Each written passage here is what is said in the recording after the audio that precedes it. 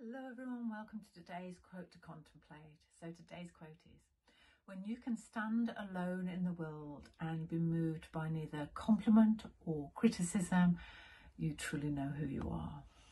Okay, so as we prepare to bring in a new year, um, it's it's a great time to get to know ourselves. And uh, one of the ways to see whether we're secure within ourselves, and we remember, we can only truly be secure if we're in our true self, is to actually then test are we moved by compliments or are we moved by criticism? Um, most people are. They have a compliment, they feel good about themselves, they're criticised, they feel bad about themselves.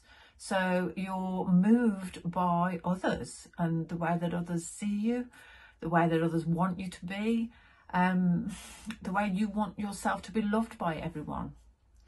So when you're in your true self, you're never moved by compliment or criticism. Um, I remember when I first woke up to truth and people compliment me and it was, I, I never said thank you or anything because it, it, was like it was nothing. It didn't mean anything to me. Um, it had lost all meaning. And um, but then I, I learned that in order to engage with life, I needed to be saying thank you to to to make that connection.